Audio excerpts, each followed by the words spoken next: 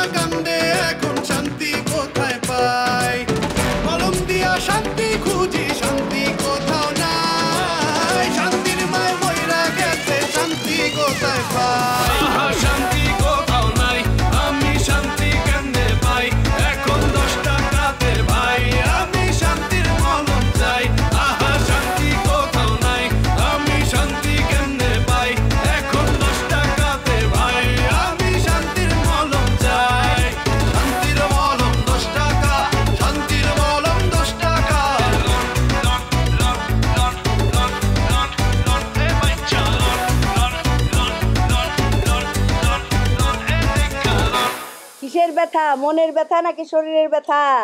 ভয় লাগতেছে কত জোরে জোরে তোমার কি ভালো লাগতো এখন পাশে জুলেখা থাকলে? জুলেখা বিবি। কথা তো সেটা না একটা কথা ছিল। কোনো কথা না দোল খাওয়াটা জরুরি। মানে খুব জরুরি তো। হ্যাঁ জরুরি যাই হোক। এখন দোল খাওয়ার চাইতে জরুরি বিষয় কিছুই নাই। দোল তো অনেক ক্ষতি রেখে দিচ্ছি আর কত খাব কত? আচ্ছা ঠিক আছে বলো। বলো। বড় ভাই তো খুঁজে পেতেছি না। ভাইজান রে হ্যাঁ। ভাইজান কোথায় আছে আমি জানি। কই আছে সেটা তো বলতেছো না। ভাইজান হ্যাঁ। ভাইজান চিড়িয়াখানায় ঢুইকা একটা খাঁচা খুইলা হ্যাঁ। নিজেই সেই খাঁচায় ঢুইকা নিজেরে বন্দি করে রাখছে। এবং সেটা কিসের খাঁচা জানো? সেটা বান্দরের খাঁচা।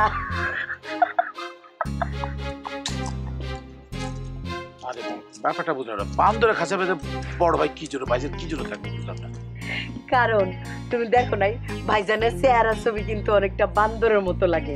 মানে বয়স্ক বান্দর আর কি। ভাইজান বান্দরের মতো আর আমি তালের মতো। বান্দর আর তাল মানে কি খুঁজবে মানে মাথা ঠিক আছে? মানে ভাইজান হইল বয়স্ক বান্দর তুমি হইল পাকনা তাল। একদিন দেখা যাব কি ভাই ভাইয়ের মাথা খুললা খাইতেছে।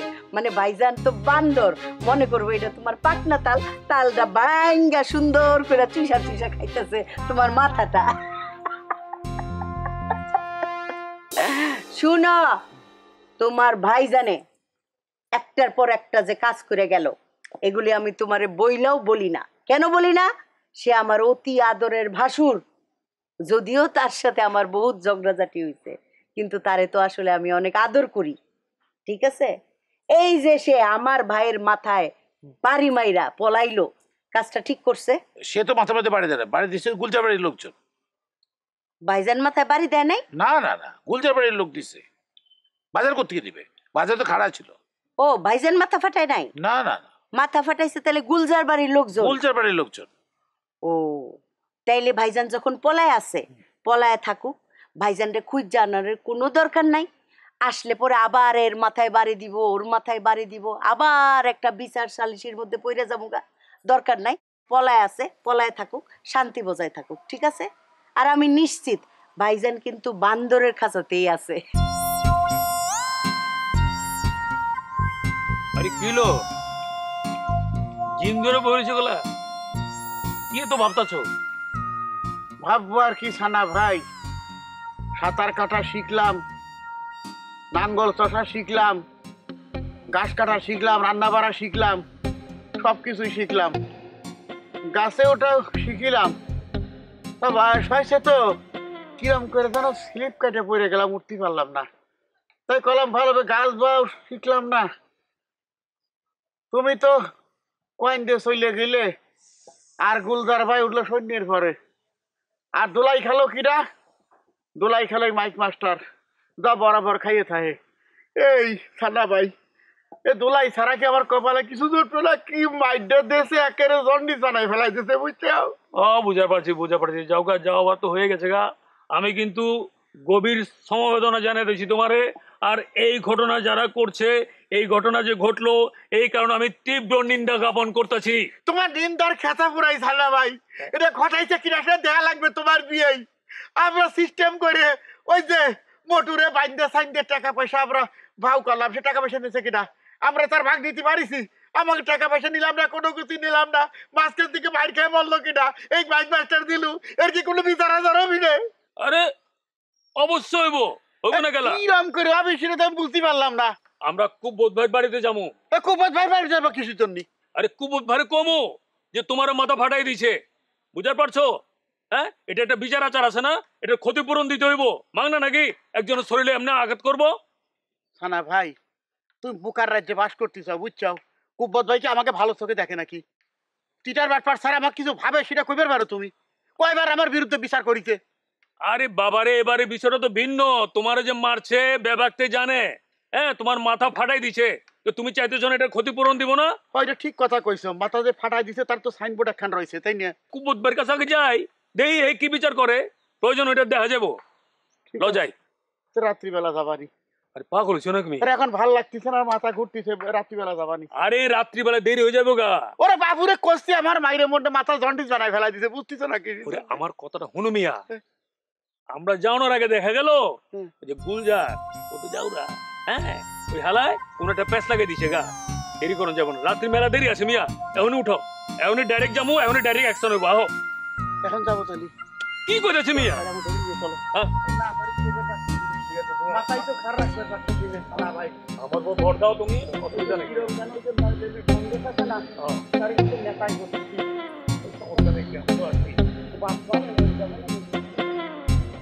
আচ্ছা টিঙ্কু তুই আমার বলতো আমি হইলাম মহা ওস্তাদ লেভেলের একজন মানুষ। এই বাটি চালান দিয়া সবকিছু নিজের আয়ত্তে নিয়ে আসি। তুই তো দেখি আমার সে মহা ওস্তাদ। আমারে সত্যি করে কত? এই ফুলগুলিরে তুই কীভাবে আয়ত্তে আনলি? ফুলকলি গো ফুলকলি বলতো এটা কোন গলি? এই গলিতে যদি কেহ একবার আসে আহা। সেই তো ফাঁসে আহা। সেই তো ফাঁসে। তার মানে তুই ফাঁসা নিয়ে আইছিস ইয়েস মাই সান পুরো ইয়েস মাই হাবিল্লা ভাই। ব্রাদার হাবিল্লা ব্রাদার এইভাবে করে করে তাকে আনন্দে আনন্দে নিয়ে আসছে। এবং তার ভিতরে এমন একটা কিছু জ্বালাময়ী বিষয় জাগ্রত করে তুলছে, একটা আসর গড়ে তুলছে, সে খালি Tinku hi Tinku hi Tinku hi Tinku করে করে সে চলে আসছে এইভাবে একমাত্র তুই হইতে পারবি আমার যোগ্য শিষ্য। শোন এবার অনেক বড় প্ল্যান করে আইছি। সুটকির ব্যবসা ভালো লাগে না। শুটকির গন্ধে লিভার, কিডনি, বিডনি সব নষ্ট হয়ে যাইতেছে। এবার দুই ভাই মিলা আমরা বাটি চালানের আধুনিক একটা পদ্ধতি বার করব। আমি চিন্তা করতেছি হাবিল্লা ভাই মনে করি যে লেস ফিতাগিরি করে কিছু তো স্বীকার করবে পারি কিন্তু আপনার পার্টি দিয়ে কি কিছু স্বীকার হব? আরে কয় কি? আচ্ছা তুই ক। তুই লেস ফিতা বিক্রি করার জন্য খুব বেশি হলে একজন বাড়ির উঠানে যাস তার চেয়ে বেশি হলে বারান্দা পর্যন্ত। কিন্তু এইবার পাটি চালানে তুই ঘরের ভিতরে ঢুকে যাবি চকির তলে সাঙে পর্দা মর্দা সব সিরা তুই ঢুকে যাবি। তারপরে দেখবি খেলা। আবুল্লা ভাই, কিছু মনে করেন না। আপনার পার্টি দিয়া জানি ওরকম কিছু করা সম্ভব না, কিন্তু তারপরও এই ব্যাপারটার আমি নিছি। কি লেগে জানেন? কিছু না কিছু কাজ আমার হব। আল্লাহ আপনার পার্টি কতটুকু কাজ করুক না করুক, কিন্তু আমার মনে হয় আমার কাজ হইব।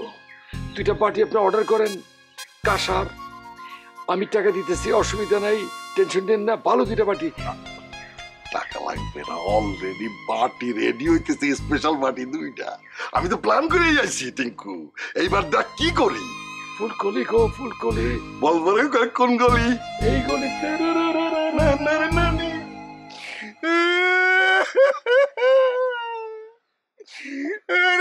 বাইরে বইরে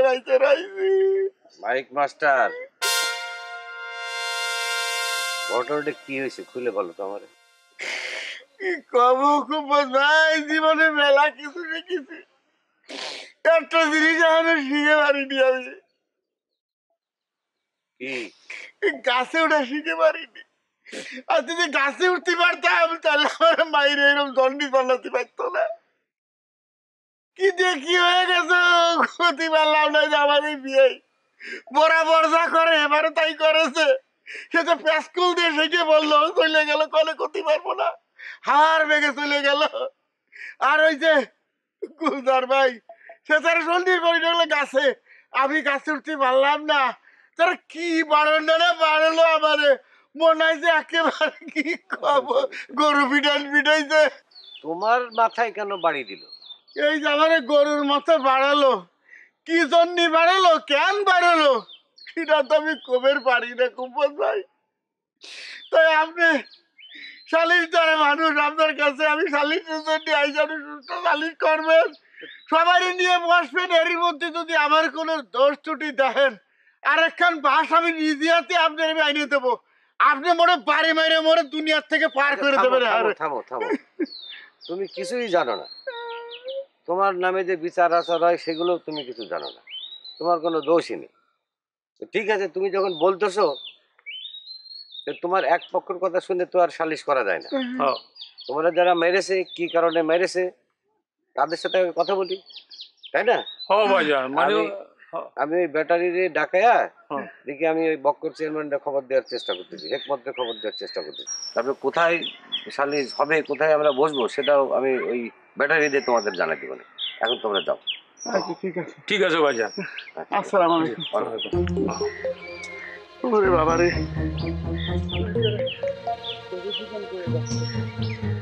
তোরে আমি মাঝে মধ্যে কই না যে উস্তাদের অবর্তমানে আমি উস্তাদ। কিল্লিকে কই?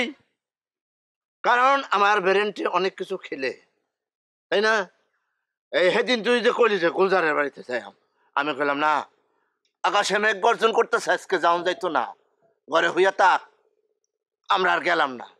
যদি আমরা ওখানে যাইতাম, তাহলে গুলজার আর হেকমত চেয়ারম্যান যে মারামারি করছে, আর সবাই মিললে যে মারামারি করছে এই মারামারির পেছে আমরা পড়তাম না হ্যাঁ? তখন কি হইতো? আমরাও তো মুঝে যেতে পারতাম, নাহলে হাত পাও টুন্ডা হয়ে যেতে পারতো পারতো না। তাহলে কি করলাম?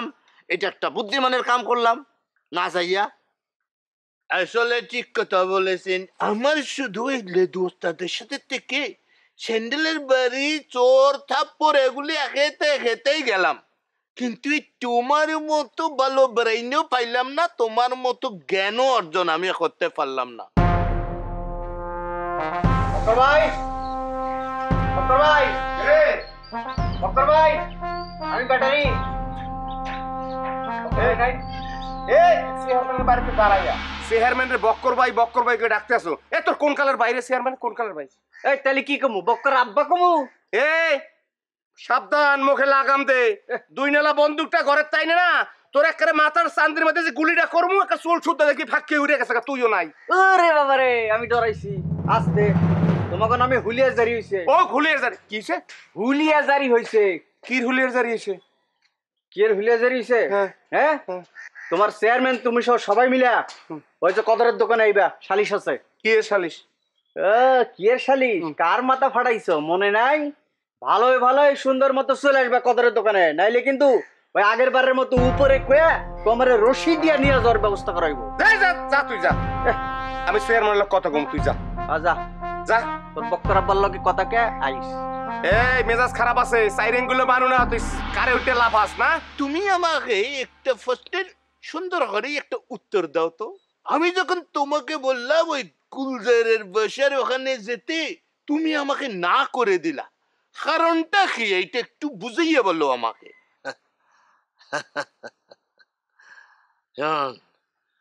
আমি হইতাছে বুদ্ধির ডেকি আমার মাথার মধ্যে বুদ্ধি। আমার মগজের লোকে কি তোর মগজের তুলনা হইতো? হইতো না। তুই যখন কইলি যে গুলজারের বাড়িতে যাব আমি হঠাৎ করে একটা আওয়াজ পাইলাম। চিলিক মাইরে উঠল, আমি আকাশের ঈশান কোণে তাকাইলাম। তাকায় দেখলাম একটা মেঘ গর্জন করে উঠছে। হে আন্ধারের মধ্যে দেখি একটা শকুন পাখনা দিয়ে এরকম করে উঠতেছে আর নিচে তাকায় রয়েছে আমি চিন্তা করলাম, এই শকুন খেলে গিয়ে উঠতেছে, আবার নিচের দিকে তাকায় রয়েছে পরক্ষণেই আমার মাথার মধ্যে চিলিক মেরে উঠল। আহ, এই শকুন অশুভ শকুন। এই অশুভর কারণে মাইক মাস্টার দিলু আর হেকমতের শালার মাথা পাড়ছে। আমরা ওখানে যাওয়া চলবো না চলবো না চলবো না। ইজ্জত লে বাঁচতে হলে ওখানে আমরা যাইতাম না। যাই না। এক কেজি ঠিক কথা বলেছেন আপনি। কেন আপনাকে এখন আপনি বলতেছি? আসলে আপনি লেদু ওস্তাদকে যে আমি ওস্তাদ মানি আপনি আমার ওস্তাদ মানা উচিত মেনে হি হরবো আমি এখন থেকেই আপনার ফাইয়ের কাছে বসে থাকব ওস্তাদ কত সুন্দর একটা কথা বলেছেন কিভাবেই আপনি এগুলিতে বুঝতে পারেন আমি নিজেও বুঝতে পারতেছি না আরে তুই বুঝতে পারতি না তুই ছোট লোকের ছেলে না তোর বংশ হয়েছে তো খুব ছোট আর আমি অনেক বড় ফ্যামিলির ছেলে। আমার দাদা ছিল জমিদার। তো আমার ভ্যারেন্টে যেটা ধরবো তোর ভ্যারেন্টে সেটা ধরতো ধরতো না। আফসোস করণের কিছু নাই। তুই চেষ্টা চালায় যা তুই একদিন জমিদার বংশ হয়ে যাবি। ঠিক আছে এখন থেকে চেষ্টা করবি আপনার সাথে থেকে থেকে আর। হুম। চেয়ারম্যান সাহেব ভাবি ব্যাটারির এই কথা বলা কি ঠিক হয়েছে? একদম ঠিক হয় নাই। না ব্যাটারি এই কথা বলা ঠিকই হয়নি। কি বক্কর? আপনি জান না কেন? আরে যাব তো চিন্তা করতেছি যাব। যদি না যায় তাহলে তুই এর লোকজন তো আমার ধরে নিয়ে যাবে বুঝো না যাওয়া উচিত এখন। আপনারা ধরে নিয়ে যাবেন হ্যাঁ। শরম করা উচিত এই কথা বলার আগে। তুমি একটা চেয়ারম্যান তোমার ধরে নিয়ে যাইবো না? এই বক্কর চেয়ারম্যান যাবে না। বক্কর চেয়ারম্যানের প্রতিনিধি হইয়া আমাদের মনটা যাবে। যখন কুব্বতালির সালিশে সবাই দেখবে যে বক্কর চেয়ারম্যান যায় নাই তার প্রতিনিধি পাঠাইছে কারে? বক্কর চেয়ারম্যানের চাকর মনটারে যে একজন চাকরকে প্রতিনিধি বানায় পাঠাইছে তোদের সালিশের মধ্যে। যা আর মনটা তুমি যাই কি করবা জানো? হুম? তুমি যায়া বলবা যে বক্কর চেয়ারম্যান এই সালিশি বয়কট করছে। কারণ তুমি জানো না আমার ভাইয়ের মাথা ফাটায় নাই? হ্যাঁ? আমার ভাইয়ের মাথা ফাটায় কিসের সালিশ করে তারা? এই সালিশের অধিকার তাদেরকে কে দিচ্ছে সালিশ ডাকলে ডাকুম আমি। তুমি। কি বক্কর কও না কেন? সালিশ ডাকলে ডাকুম আমি। আমার ভাইয়ের মাথা ফাটাইছে। হ ঠিকই তো। আর ডাকলে আমার বোনে ডাকবে